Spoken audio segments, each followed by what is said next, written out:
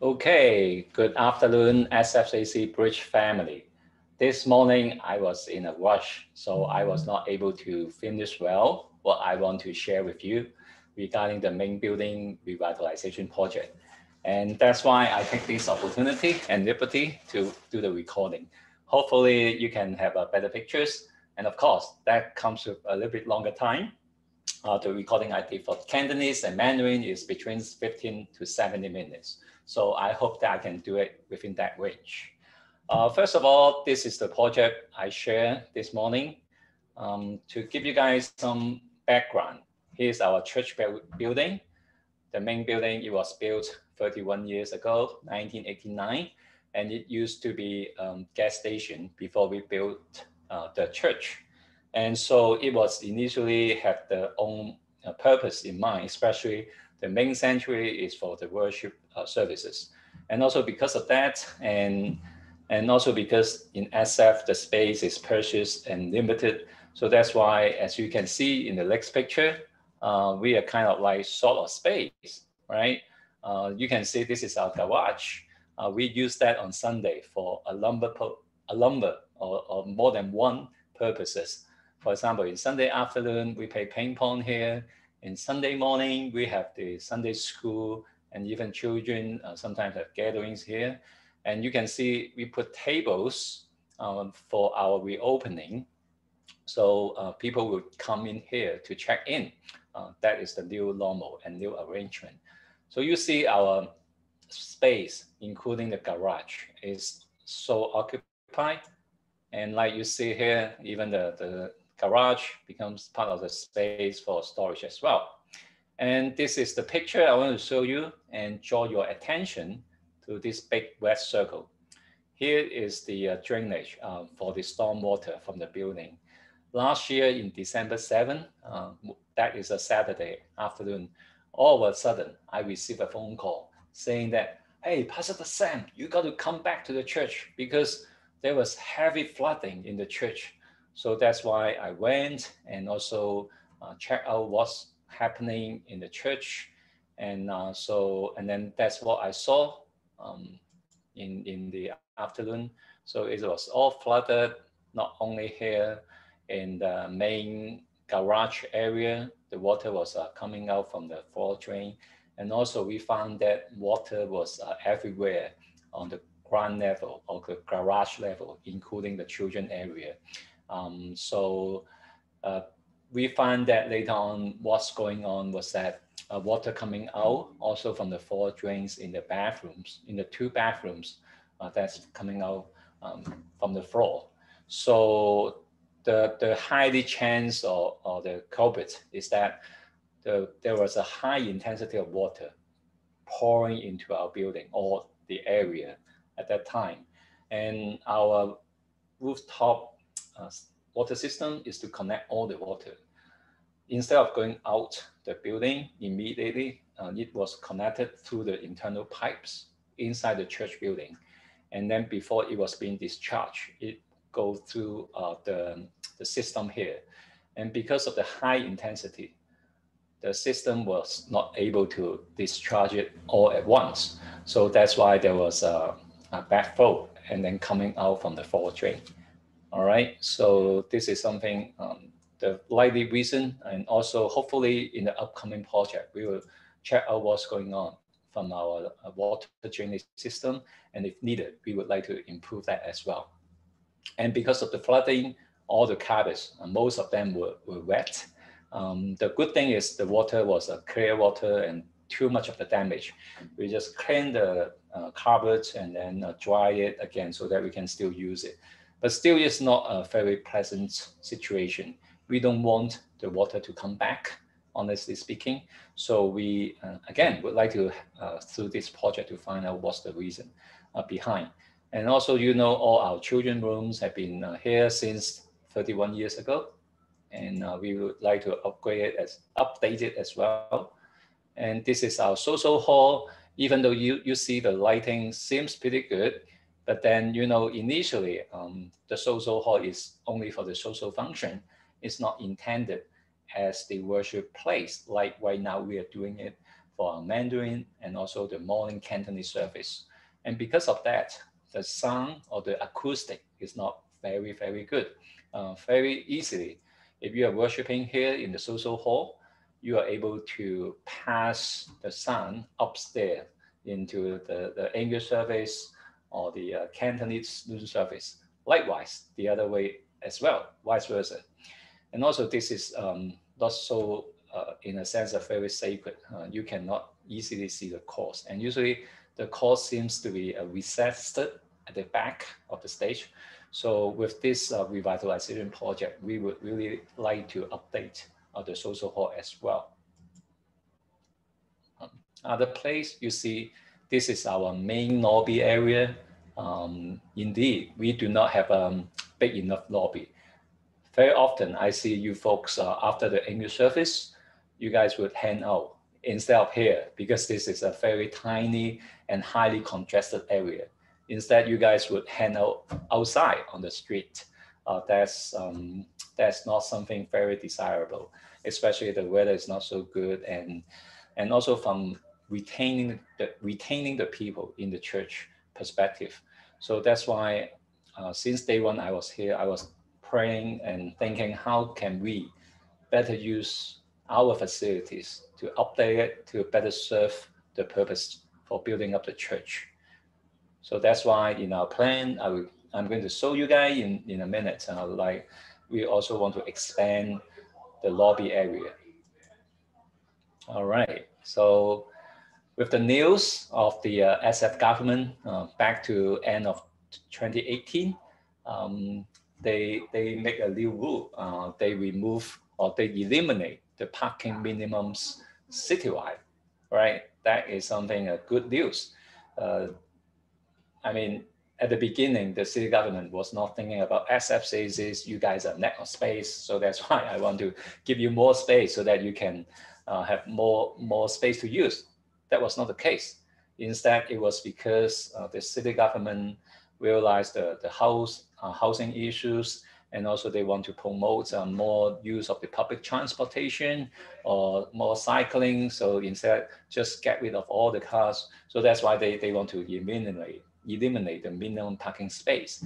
And because of that, we will benefit um, because right now our garage that is around 2,000 square feet, we are going to be able to convert that into some uh, permitted use or usable space.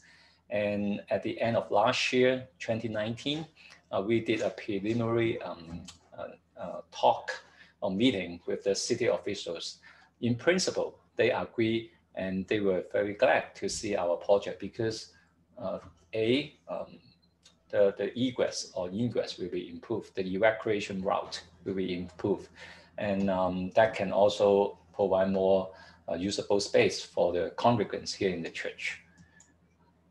But then, you know, what happened in 2020?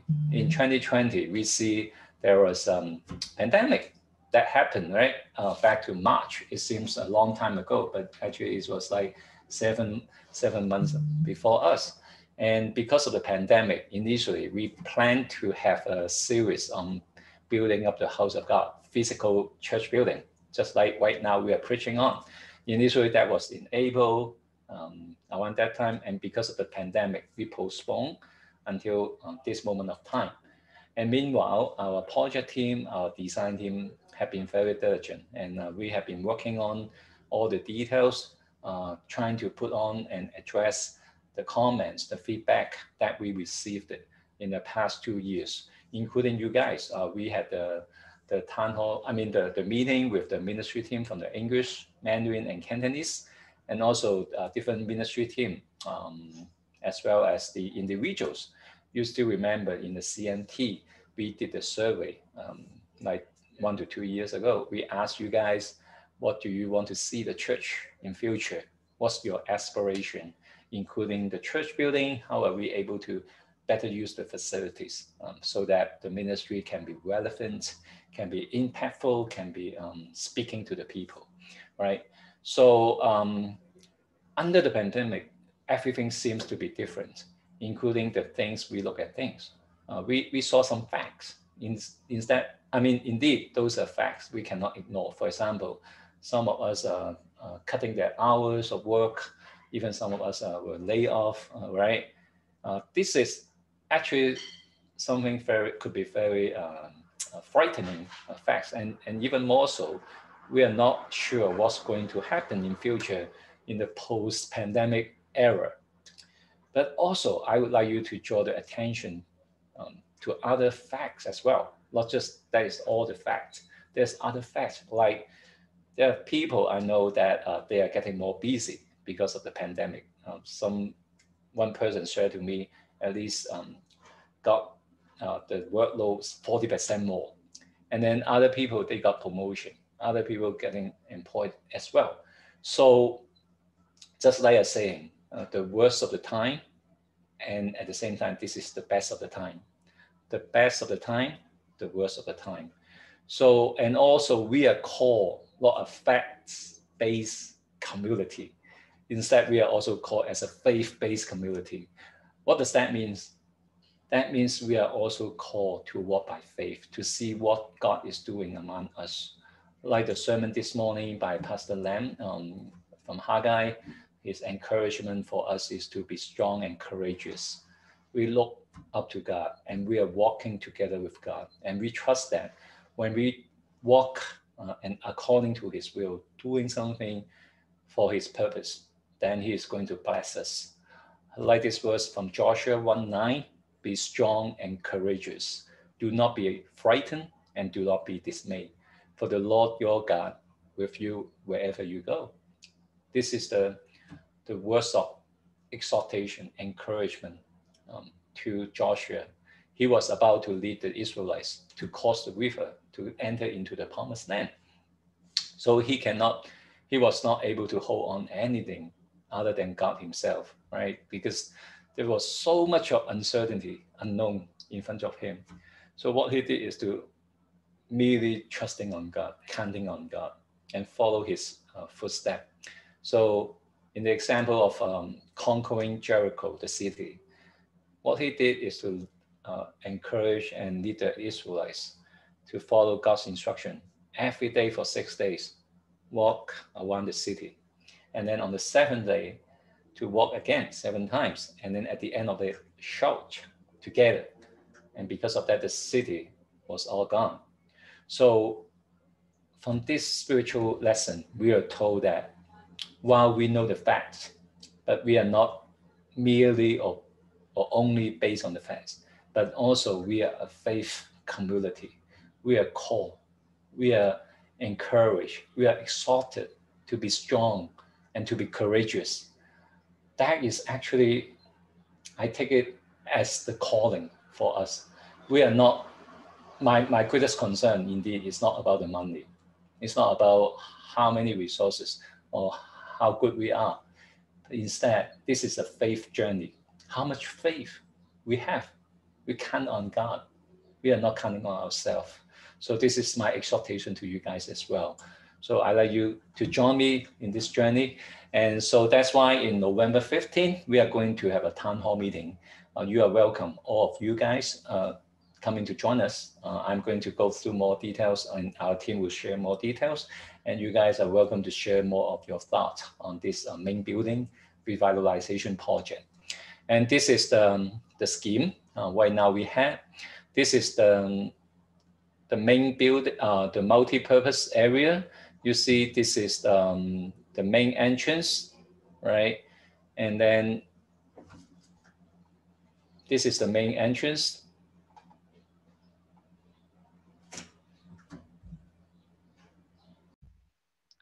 Okay, here's the um, the PowerPoint I want to share. There was a little bit um, technical issue.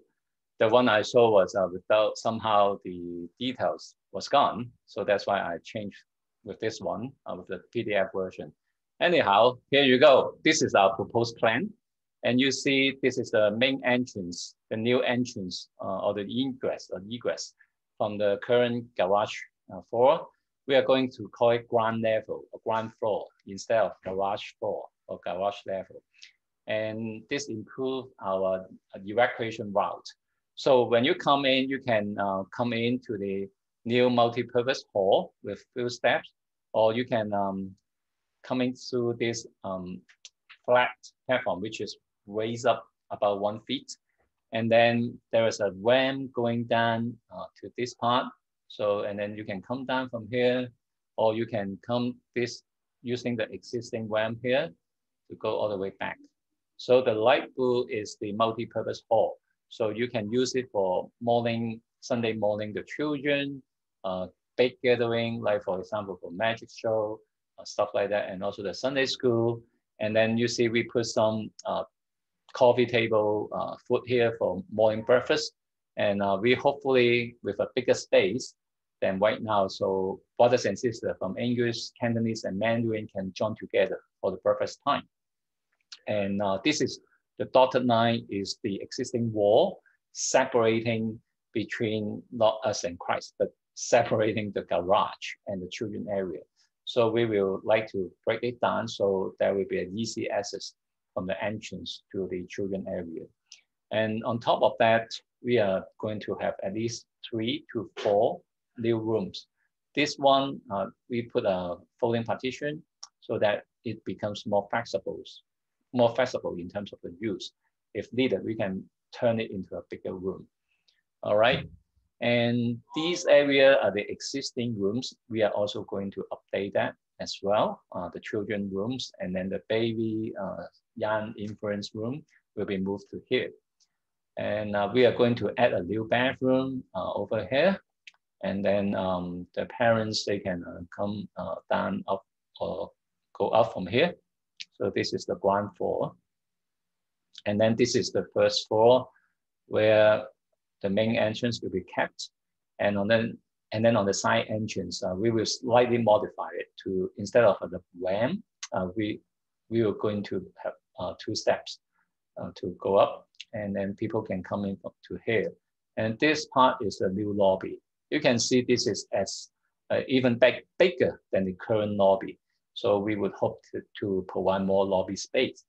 And as of the office, uh, this my current office will be reduced so that there will be more office space for more staff, not only here, but also a new part of the office on this side so that hopefully all the staff can come back to the same building to work. And then we can, um, uh, for better and easier communication, and more importantly, to build up as a team. So I want uh, to provide space for all the staff to come back. And this is a new room where brothers and sisters can, can use it to prayer or discipleship, to a small group uh, gathering. Uh, so this is something new. And of course, we will update the existing lobby as well as the uh, kitchen. Uh, we will try to keep uh, the appliances if that can be used, uh, whereas for those cabinets, we may uh, need to change it. for the social hall, as I said, we want to improve the acoustic as well as the sacredness of the social hall. And also we want to provide more storage and well-organized space at the back of it. So this is the, the, the plan uh, right now we got, and below is some uh, rendering. You see this is uh, from the new lobby, uh, looking back to the uh, existing, existing lobby. All right, so this provide more space for you guys to hang out and um, chit chat. And this is the main reception area, um, the entrance, I mean the, the existing lobby. Uh, that will be more organized and tidy. And this one is the multi-purpose hall, uh, where we are looking from the entrance at the garage uh, or the ground floor uh, entrance door. And we provide the area for, for counter, like a bar where we can serve food and beverages so that brothers and sisters can hang out here during uh, Sunday as well as other time of the year, like for different functions. And during the daytimes, uh, weekdays time, we can use it for community uh, ministry as well, like for example, after school. So these are some of the plans we have right now. And then um, because at this moment, um, we cannot move on further because one major obstacle uh, or obstacle is the MEP, mechanical, electrical, and plumbing engineers and design. Because uh, we need uh, the consultant to look at our, especially the ground floor, we need to provide a new HVAC or ventilation and other systems. The plumbing, we want to take this opportunity to look into that. So uh, the G board, the governing board, uh, would make a call to whether to hire a consultant that actually uh, the project team, uh, we have been diligently uh, asking for quotation and we got three and this one is the most, I mean, the best deal so far we can get. but I mean, in order for us to, to move forward, we need to, to have the support from the G board and, and also from the brothers and sisters. So I would highly rec recommend and encourage you to talk to uh, your pastors, uh, like Pastor Jonathan, as well as uh, your uh, G board members like uh, Justin, Justin, Justin, sorry, Justin, and hopefully Justin will one day become a, board member. Um, uh, Eric as well as Esther to express your views, whether there's um, positive, negative, supportive, non-supportive, uh, I highly encourage you if you are supporting the, the project, um, you you share to them because uh, we we do know different uh, uh so-called the uh, reservation or, or, not so supportive reasons, but we need to hear more from from those who are uh, showing support to the project. And on November 15th, we are going to have a town hall meeting Sunday afternoon. So more de details will be released. Um, so hope you guys can join and give us more feedback. And then the PowerPoint from today will be uploaded to the website. Uh, you can feel free to, to download it and, and looking into more details. Thank you very much. And I hope and pray that you have a God blessed uh, day and uh, upcoming week as well. Thank you very much.